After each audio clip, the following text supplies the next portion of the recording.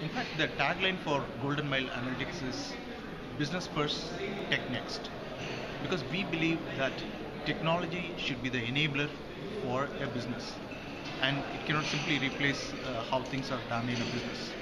Uh, businesses are founded with basic principles of you know enhancing shareholder values and also you know contributing to the society and whatnot and at the same time you know if we see the technology you know there has been tremendous progress in the last five to ten years you know in terms of in terms of social media mobility analytics cloud computing.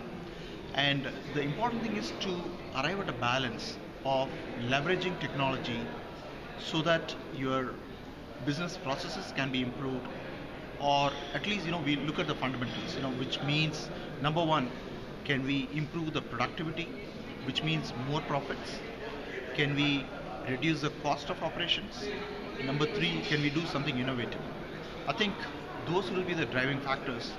And when we look at all these three i'm confident that there will be some part of technology you know that we can leverage you know to meet these kind of goals.